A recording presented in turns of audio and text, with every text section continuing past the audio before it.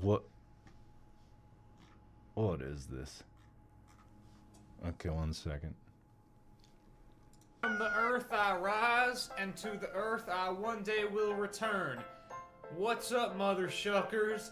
My name is Colonel Cornelius Cornwall, and I'm here today to introduce you to corn.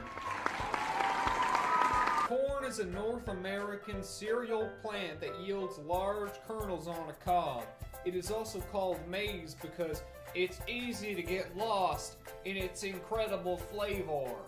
Side effects of corn may include choking, I guess. Come down today and try some corn, or we will sacrifice your newborn.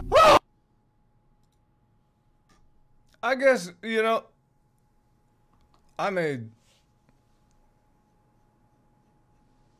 I made some interesting videos.